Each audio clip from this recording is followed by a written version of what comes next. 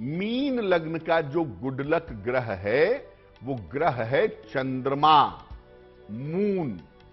पंचम भाव का स्वामी है, और मीन लग्न की कुंडली में अगर चंद्रमा जरा भी अच्छा है तो जीवन में सफलता पाने की संभावना बहुत आसानी से बनेगी। वैसे तो मीन लग्न वालों के साथ करियर के अच्छे अवसर आते रहते हैं, वो कोई बड़ी बात नहीं है, लेकिन फिर भी आप करियर में बहुत सफल होंगे, आपकी किस्मत आपका बहुत साथ देगी।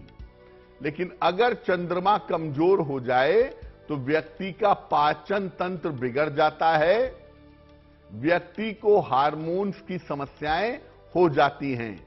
और जीवन में अगर आप हर तरह की सफलता चाहते हैं, भगवान शिव की शरण में जाइए ताकि आपकी बीमारियाँ दूर हों आपका जीवन बेहतर हो और आप जीवन में तरक्की कर पाएँ।